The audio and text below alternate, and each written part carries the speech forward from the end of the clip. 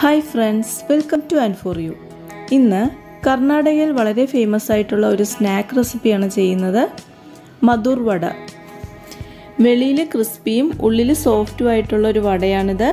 അപ്പോൾ വളരെ ടേസ്റ്റി ആയിട്ടുള്ള ഈ മധുർ വട ഉണ്ടാക്കുന്നത് എങ്ങനെയെന്ന് നമുക്കൊന്ന് നോക്കാം. അതിന് ഒരു വലിയ സവോള ചെറുതായിട്ട് അരിഞ്ഞു വെച്ചിട്ടുണ്ട്. പിന്നെ മൂന്ന് പച്ചമുളക് ചെറുതായിട്ട് അരിഞ്ഞത് വേണം. വേറെ മുളക് പൊടിയൊന്നും നമ്മളിതിൽ ചേർക്കുന്നില്ല. പിന്നെ ഒരു ചെറിയ കഷ്ണം ഇഞ്ചി അരിഞ്ഞത്. ഇത് ഏകദേശം ഒരു ടീസ്പൂണോളം വരും. പിന്നെ കുറച്ച് കറിവേപ്പില അരിഞ്ഞതും ഒരു മൂന്ന് ടേബിൾ സ്പൂണോളം മല്ലിയില അരിഞ്ഞതും വേണം. ഒരു പാത്രത്തിൽ സവോള അരിഞ്ഞത് പച്ചമുളക് അരിഞ്ഞത് ഇഞ്ചി ചെറുതായിട്ട് അരിഞ്ഞത് കറിവേപ്പില അരിഞ്ഞത് മല്ലിയില അരിഞ്ഞത് പിന്നെ അര ടീസ്പൂൺ ഉപ്പ്.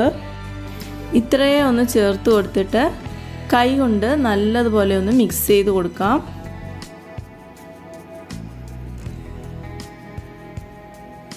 ഇതേപോലെ കൈ കൊണ്ട് നല്ലതുപോലെ ഒന്ന് മിക്സ് ചെയ്യുക. എന്നിട്ട് ഇതിലേക്ക് പൊടികളൊക്കെ ഒന്ന് ചേർത്ത് കൊടുക്കണം. അര കപ്പ് അരിപ്പൊടി അര കപ്പ് മൈദ കാൽ കപ്പ് റവ. ഇത് വറക്കാത്ത റവയാണ്. പിന്നെ രണ്ട് ടീസ്പൂൺ വെള്ള എള്ള്. എള്ളില്ലെങ്കിൽ ചേർക്കണ്ട. ഇത്രയും ചേർത്ത് കൊടുത്തിട്ട് ഇത് നല്ലതുപോലെ കൈ കൊണ്ടൊന്ന് മിക്സ് ചെയ്യുക. ഇതേപോലെ നല്ലതുപോലെ ഒന്ന് മിക്സ് ചെയ്ത് കൊടുക്കുക.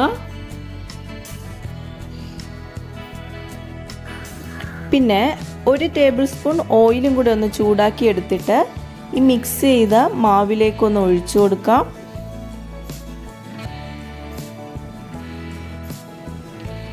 എന്നിട്ടൊരു സ്പൂണ് കൊണ്ട് ഒന്ന് ഇളക്കി കൊടുക്കുക. ഞാൻ ഇതിലേക്ക് അര ടീസ്പൂൺ ഉപ്പും കൂടെ ഒന്ന് ആഡ് ചെയ്ത് കൊടുക്കുന്നുണ്ട്. എന്നിട്ട് കുറച്ച് കുറച്ചായിട്ട് വെള്ളം ഇങ്ങനെ തളിച്ച് കൊടുത്ത് നമുക്കിതൊന്ന് കുഴച്ചെടുക്കണം. ചപ്പാത്തി മാവിന്റെയൊക്കെ ഒരു കൺസിസ്റ്റൻസിക്ക് നമുക്ക് ഈ മാവ് കുഴച്ചെടുക്കാം. ഇതേപോലെ മാവ് നല്ലപോലെ കുഴച്ചെടുക്കുക. ഇനി ഒരു ചീനച്ചട്ടി ചൂടാക്കിയിട്ട് അതിലേക്ക് വട വറുത്തു കോരാൻ ആവശ്യത്തിന് എണ്ണയൊന്ന് ഒഴിച്ചു കൊടുക്കുക. ഈ എണ്ണയൊന്ന് ചൂടാകട്ടെ. ആ സമയത്ത് നമുക്ക് ഒരു പ്ലേറ്റിലേക്ക് കുറച്ച് എണ്ണയൊന്ന് തടവി കൊടുക്കുക. എന്നിട്ട് നാരങ്ങ വലിപ്പത്തിൽ മാവെടുത്ത് ഈ പ്ലേറ്റിൽ വെച്ച് പതുക്കെ പതുക്കെ ഒന്ന് പ്രസ് ചെയ്ത് പരത്തി കൊടുക്കാം. അധികം കനം കുറയ്ക്കരുത്.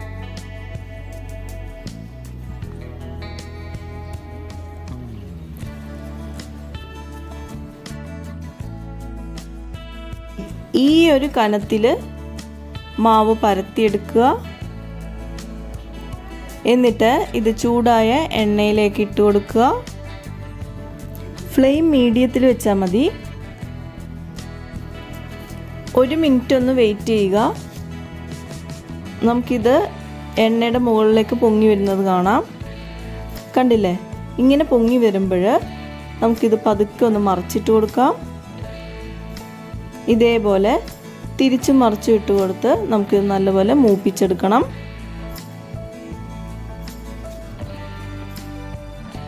ഇത് ഒരു ഗോൾഡൻ ബ്രൗൺ കളർ ആകുമ്പോൾ എണ്ണയിൽ നിന്നെടുത്ത് മാറ്റാം.